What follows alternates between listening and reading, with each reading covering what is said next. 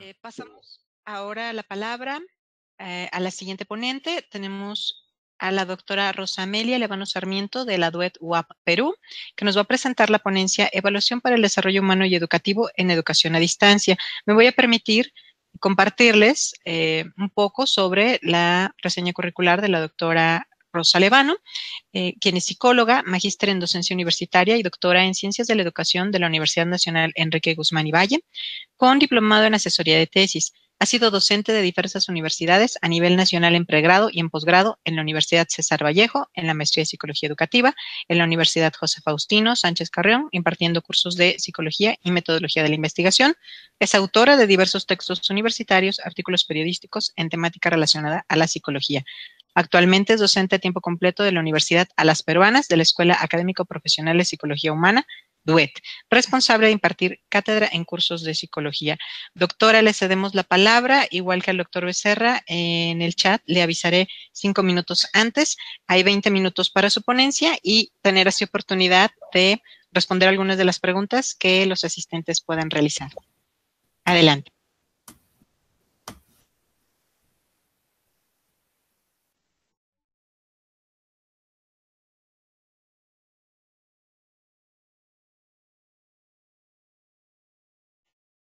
Eh, doctora Rosa Levano, ¿me escucha?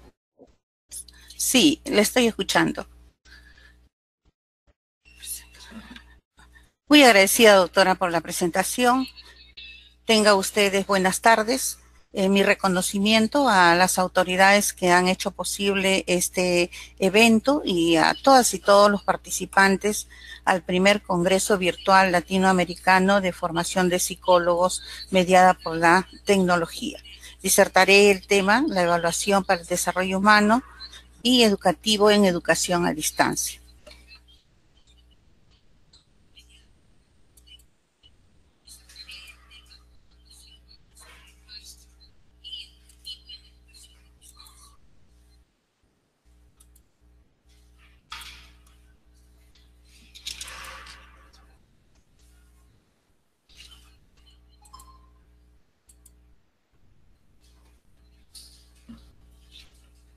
Toda la pantalla.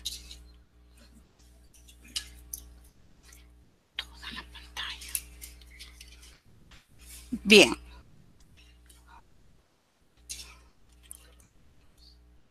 Bien, vamos a empezar eh, haciendo un, eh, una introducción al tema de educación. Y es que la educación es la clave para el desarrollo humano pero eh, no solamente abocada al tema económico, porque al parecer tenemos dentro de, nuestra, de nuestro inconsciente que nosotros nos vamos a educar para mejorar eh, nuestra calidad económica, para eh, tener dinero y para darnos ciertos gustos materiales, y es allí donde queda la ilusión. Sin embargo, eh, faltaría algo muy importante en, el pensamiento del ser humano, que es eh, la preparación que nos puede dar la, educación en otras dimensiones, ¿no? En la dimensión social, la dimensión política, económica, eh, cultural, científica y de ambiente que son importantes para el desarrollo integral de la persona.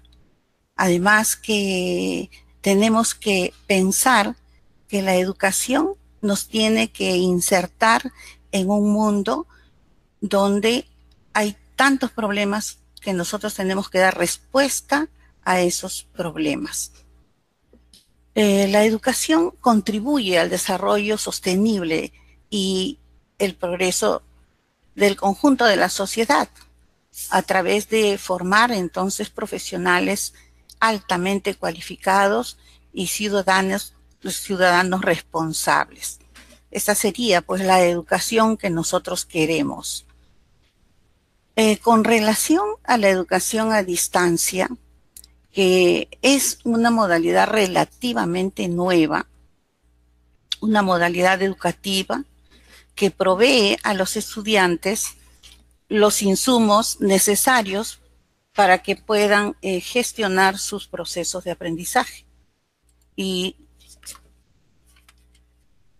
y regulen eh, a su ritmo el, el currículo, em, superando el tiempo y el espacio, eh, porque no se requiere su presencia ni la del docente en un mismo momento, en un mismo espacio para el acto, educativo. Además, teniendo en cuenta que a la modalidad virtual eh, acuden todas aquellas personas que por voluntad propia lo han elegido para poder cumplir con su trabajo y con la educación eh, al mismo tiempo y además también porque eh, es muy posible que las personas mayores también apuesten por eh, esta modalidad educativa. Eh, responde entonces esta educación a distancia a un aprendizaje constructivista. Eh, este aprendizaje constructivista potencia y en todo momento tiene en cuenta al estudiante. El estudiante vendría a ser el verdadero protagonista de su proceso de aprendizaje. Él tiene que aprender a utilizar todas esas habilidades cognitivas que le, que son propias eh, para poder manejar este proceso de enseñanza-aprendizaje, sobre todo basado en los principios de responsabilidad, de que, lo lleva a, poder eh, trabajar en esos horarios eh, flexibles, poder controlar sus ritmos de trabajo y poder encontrar ¿no? Una, un equilibrio entre eh, los estudios y lo que él viene haciendo. Y esto a su vez lo lleva al autocontrol.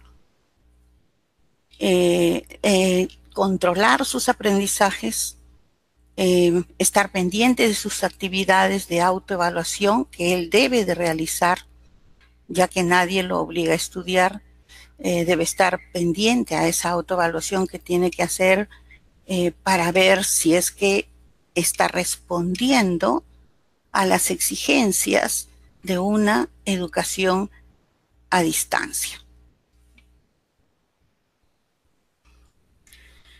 Dentro de todo este, este mundo de la educación y, de la educación virtual, eh, tenemos algo que no podemos evitar, eh, que es una herramienta importante del maestro, eh, que es la evaluación. Y que la evaluación es un, es un proceso permanente nosotros ya hemos cambiado ese criterio que teníamos de la evaluación hace mucho tiempo.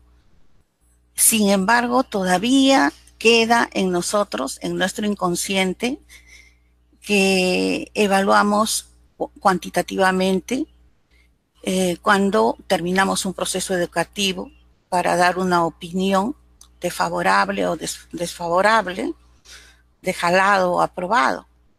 Y la evaluación es un proceso de comunicación, es un proceso de reflexión sobre los procesos mismos del aprendizaje y los resultados de este.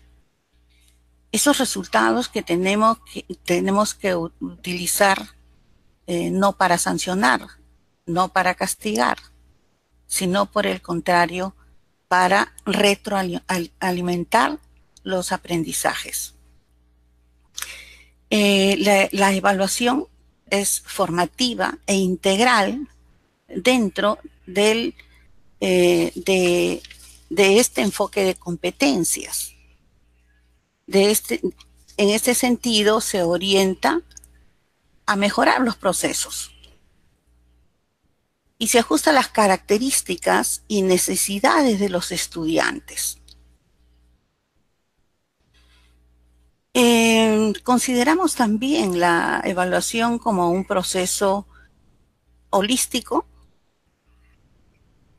Em, en educación, la evaluación comprende todo. Y últimamente, en nuestro medio, con un fuerte componente cualitativo. Sabemos que la evaluación se lleva a cabo en los diferentes momentos del proceso formativo. Y este proceso eh, formativo es responsabilidad del docente. Este proceso se da en una sesión de aprendizaje.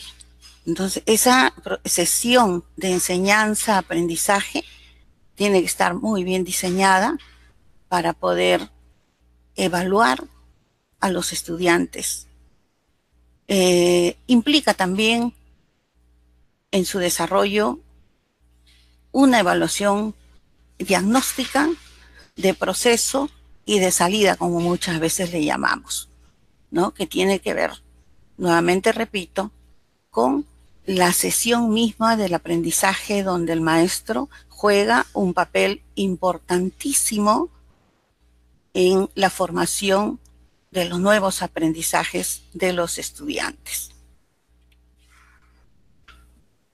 ¿Qué evaluamos? Nos preguntamos a veces porque estamos en una sociedad cambiante y nos preguntamos, ¿se modificó la forma de enseñanza-aprendizaje? Eh, es que sí se viene modificando la forma de enseñanza-aprendizaje. Y en las últimas décadas eh, se modifica eh, tanto, cambia tanto que desconcierta al maestro.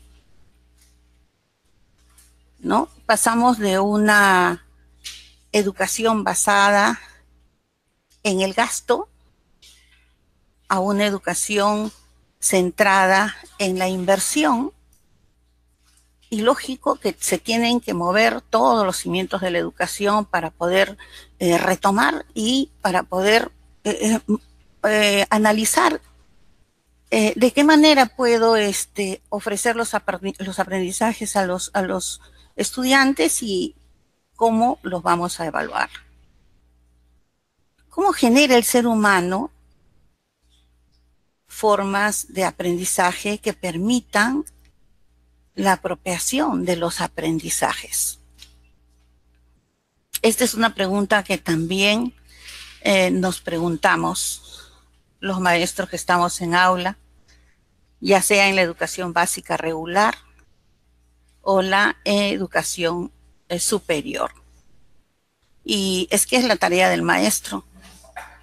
Si bien es cierto que los, alumnos vienen a la escuela con conocimientos previos, pero el rol del maestro radica en potenciar los aprendizajes. Em, y cuando hablamos de la forma de potenciar los aprendizajes, entonces nos preguntamos eh, qué atender. La conducta, los desempeños, las estructuras cognitivas, la forma de interacción social, la formación integral del sujeto y todo tenemos que atenderlo, todo. Y tenemos que planificar nuestras sesiones de enseñanza-aprendizaje para poder lograr abarcar todas estas áreas eh, y poderlos evaluar en proceso. Lógico que el maestro eh, tiene eh, muchas dudas. Por ejemplo, eh, cómo enseñar, cómo evaluar, cuál es el proyecto cultural al que se apuesta, teniendo en cuenta que, eh, la cultura es el conjunto de, de conocimientos no específicos, eh, cognitivos, del contexto que, tiene, que, tiene que asimilar un, estudiante. En ese sentido, tenemos que analizar todos estos problemas macros que ocurren en el entorno del estudiante para dar respuesta a, a esta sola pregunta. Y por ahí nos preguntamos, ¿y ahora qué, qué privilegiar? ¿No? Contenidos, aprendizajes, procesos. Eh, ¿Qué posibilita lo que yo estoy enseñando? Hombres autónomos, hombres dependientes. Eso, para eso voy a enseñar. ¿A qué apunta? a la formación de sujetos especializados en un saber, en la formación de individuos integrales.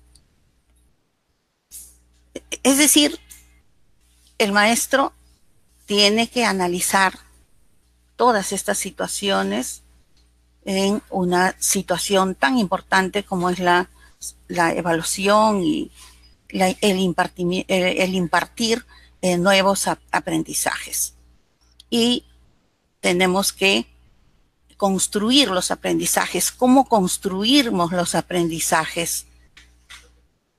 Y no solamente los tenemos que construir eh, en el aula, tenemos que recurrir a las teorías, tenemos que recurrir al entorno, tenemos que recurrir eh, a otros agentes que nos pueden apoyar, ¿no? Y por último, ¿qué evaluamos? No es una tarea muy fácil para el maestro, la evaluación. Eh, en el Perú tenemos el 20% de ninis, personas que ni estudian ni trabajan. El INEI 2010, 2016. Entonces nos preguntamos, ¿qué hacemos? ¿Cómo, cómo evaluamos? Y de, la evaluación, eh, de la enseñanza, aprendizaje, de la evaluación, nosotros vamos, vamos a, vamos a extraer los futuros hombres y mujeres del mañana. Eh, de nosotros depende, ¿no? Que estas personas sean de bien o lamentablemente, como sabemos escuchar ahora, la corrupción gana y le echan la culpa a la escuela. Muy bien. Eh, la, la evaluación a distancia es una herramienta que le permite al estudiante tener una mayor y mejor comprensión de sus propias competencias y el progreso en el proceso en el cual son calificados. Eh, la evaluación a distancia involucra conocer qué aprendemos a nuestra manera, a nuestro manejo del tiempo, a nuestras formas y contextos diferentes, con intereses totalmente distintos. Y aquí tenemos que potenciar las inteligencias múltiples que son eh, importantes para el desarrollo del ser humano. El alumno debe conocer cómo se le está evaluando, de qué manera se le evalúa, cómo se, cómo se va a obtener eh, su promedio, qué evaluamos desde que em-, empezamos la tutoría,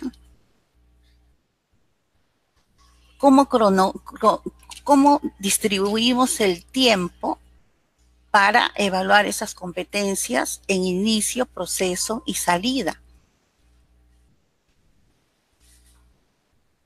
De tal manera que debe adaptarse al educando la evaluación a distancia, darle la ayuda que él merece, el refuerzo, reorientar la, la planificación. Yo creo que es importante la planificación de los aprendizajes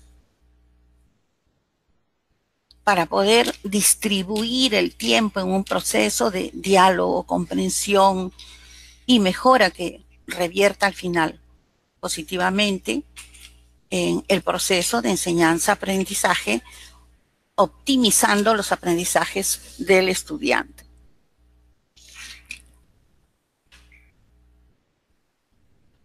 Bien. Em, ¿Qué criterios básicos de evaluación eh, en, educación a distancia tenemos? Eh, las capacidades intelectuales y procedimentales. Y las capacidades intelectuales, eh, que consiste en parte a evaluar el modo en que el educando analiza y revalora el material eh, organiza los contenidos del curso en función a, una perspectiva propia, a una meta propia, a, dónde él está caminando. Pero nosotros tenemos que, tenemos que guiarlo en ese camino para que él conozca, sepa cuál es su perspectiva o, apoyarlo en la, en, la, perspectiva que él ha elegido eh, para ver si es que está eh, caminando adecuadamente hacia los objetivos propuestos. Por otro lado, también evaluar aspectos cognitivos como memoria lógica, comprensiva, razonamientos inductivos, deductivo, lógico, el sentido crítico y la transferencia de lo aprendido, que no solamente una educación cara a cara se va a dar, tenemos que eh, también eh, aplicarlo en las sesiones de, eh, de evaluación virtual.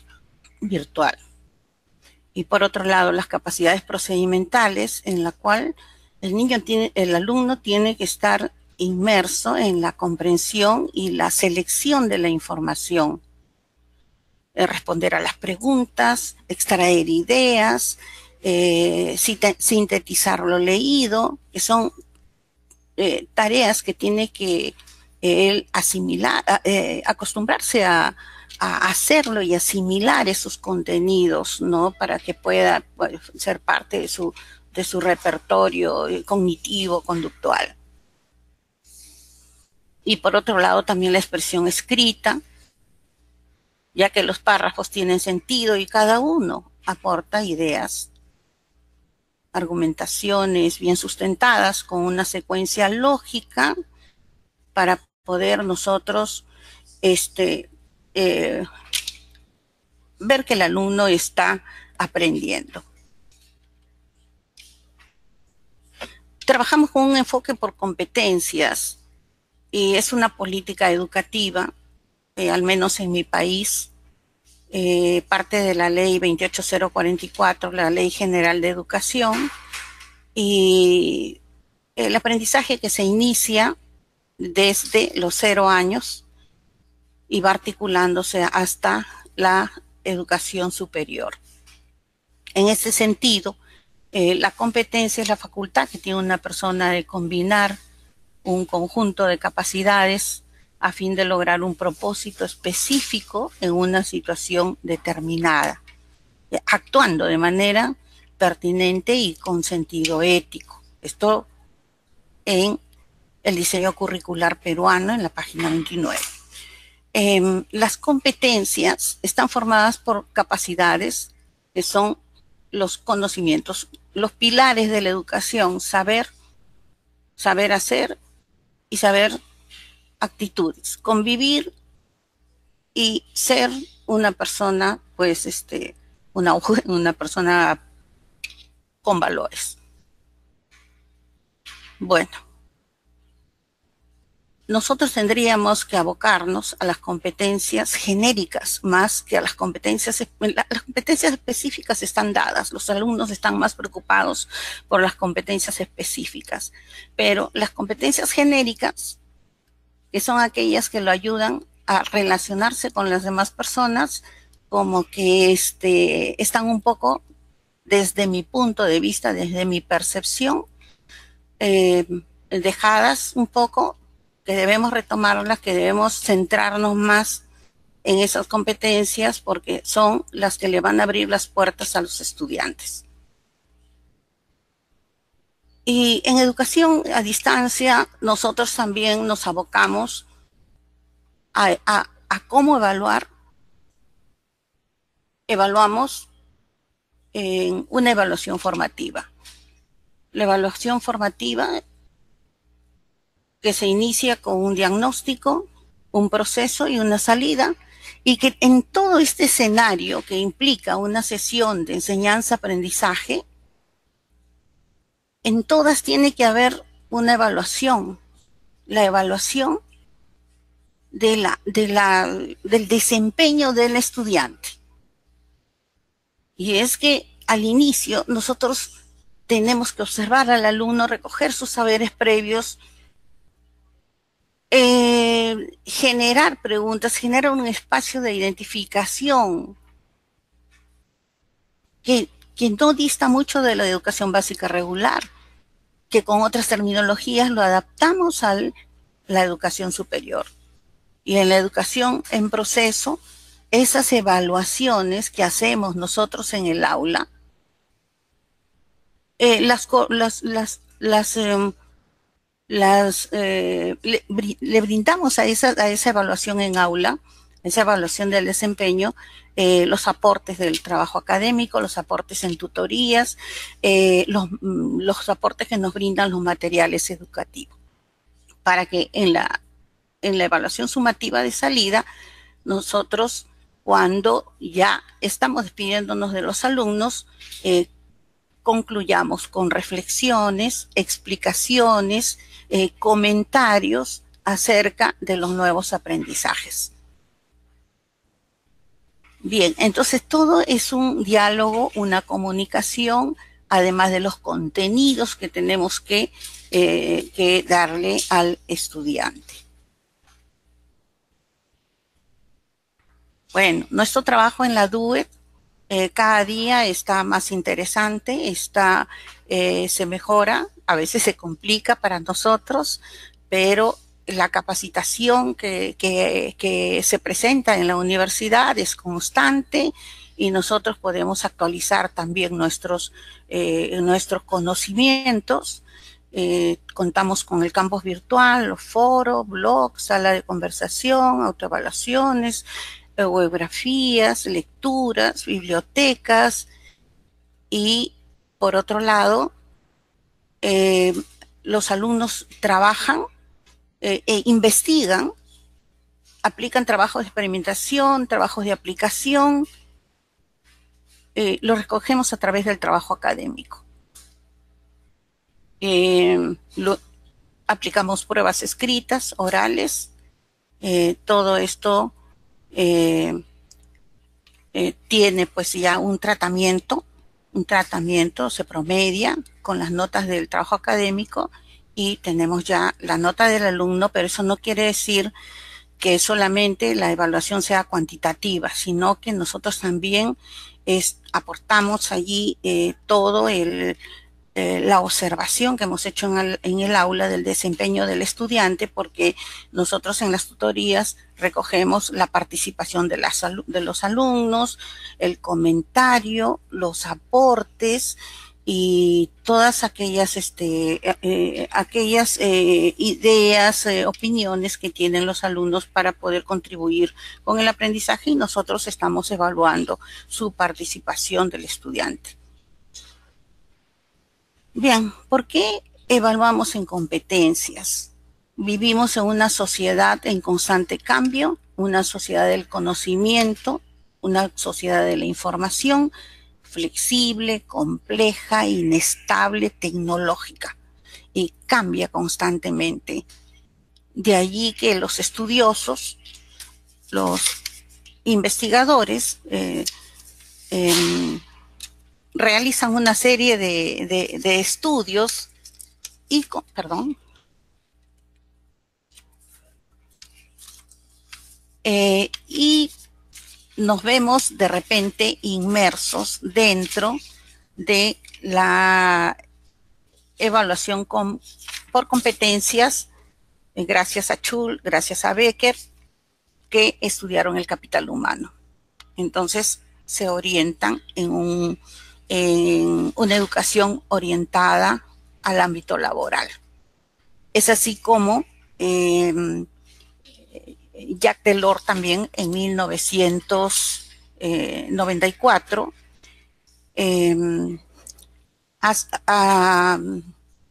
toma el currículo, el currículo, el diseño curricular como le llamamos nosotros y el currículo para todos, eh, para que eh, se, eh, se ordenen los contenidos educativos de acuerdo a las competencias que deben, que deben lograr los estudiantes dentro de la sesión de enseñanza-aprendizaje.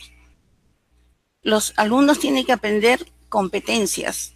En la universidad, con mayor razón, el estudio tiene que estar orientado a las competencias laborales en eh, la universidad las competencias laborales y luego el, alumno egresa a un mundo laboral. El alumno tiene que eh, saber hacer, saber conocimientos, saber ser una persona y saber convivir con los demás. Eh, y estar preparado para las exigencias, como hemos dicho, de este mundo tan cambiante eh, de este mundo tan exigente y tan complejo. Aterriza en lo, aterrizaremos en lo que es el desarrollo humano. El desarrollo eh, es el desarrollo de las personas mediante la creación de las capacidades humanas. Desarrollar capacidades para poder orientarse eh, asertivamente dentro de una sociedad, competitiva. Es un proceso encaminado a ampliar las oportunidades de las personas. Eh, un médico que sabe operar tiene que comunicar a su paciente asertivamente eh, eh, el pronóstico de, la operación. Si el médico no, no, no tiene habilidades comunicativas, pues causará un problema en, el, en los familiares. El desarrollo humano, eh, con el, el, estudiante adquiere eh, más capacidades y tiene mayores posibilidades de utilizarla cuando hay un desarrollo de sus eh, capacidades, sus habilidades y sus destrezas que lo lleva pues al desarrollo humano. Por otro lado, el crecimiento económico es importante. Al empezar, uh, referí que eh, estudiábamos, estábamos orientados a una carrera profesional por el hecho de que vamos a ganar más, vamos a tener un auto, vamos a tener eh, todos los bienes materiales. sí es cierto, si nosotros podemos manejar bien eh, la educación podemos lograr todos los bienes materiales que nosotros anhelamos. Pero eh, los expertos dicen que no es esa la meta última. Yo creo que la meta última es también eh, hacer el bien, preocuparnos por nuestra sociedad, por lo que está pasando en nuestra sociedad en el ámbito de político, cultural, social, investigativo también y tecnológico. En ese sentido, yo creo que la evaluación de los aprendizajes es una tarea de todos, es una tarea del maestro, es una tarea de la comunidad, es una tarea eh, de la misma universidad eh, con la infraestructura, eh, maestros, eh, todo lo que se relaciona con el desarrollo armónico de nuestra universidad. muchas gracias.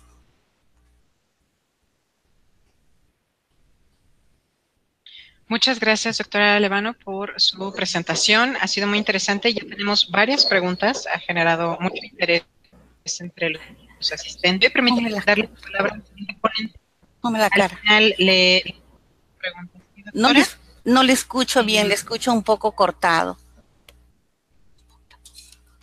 Eh, disculpa, eh, tenemos preguntas, pero vamos ahorita a darle paso al siguiente ponente.